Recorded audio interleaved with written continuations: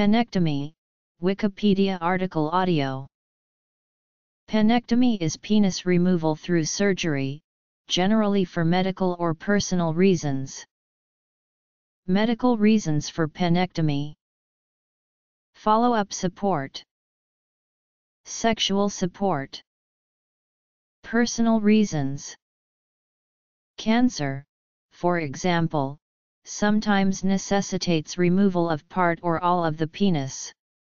The amount of penis removed depends on the severity of the cancer. Some men have only the tip of their penis removed. For others with more advanced cancer, the entire penis must be removed.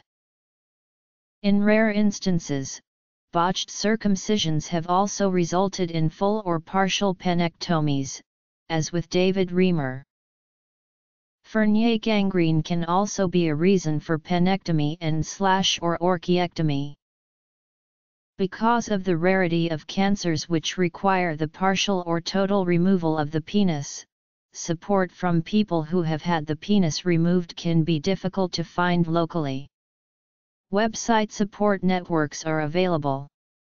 For instance, the American Cancer Society's Cancer Survivors Network website provides information for finding support networks. Phalloplasty is also an option for surgical reconstruction of a penis. Sexual support therapists and specialists are available nationally in the USA and can be accessed through the Specialist Cancer Services. Many surgeons or hospitals will also provide this information post-operatively.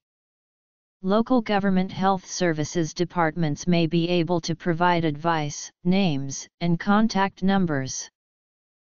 Genital surgical procedures for trans women undergoing sex reassignment surgery do not usually involve the complete removal of the penis.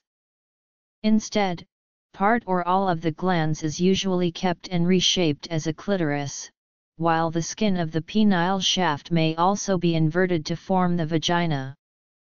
When procedures such as this are not possible, other procedures such as colovaginoplasty are used which may involve the removal of the penis. Some trans women have undergone penectomies, however this is much rarer. Issues related to the removal of the penis appear in psychology, for example in the condition known as castration anxiety, which happens as a result of a man having anxiety as to whether he may at some point become castrated.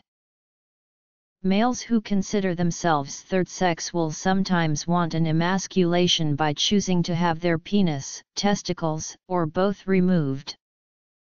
Male members in the sect of Skoptsy were required to become castrated, either only the testicles or also the penis.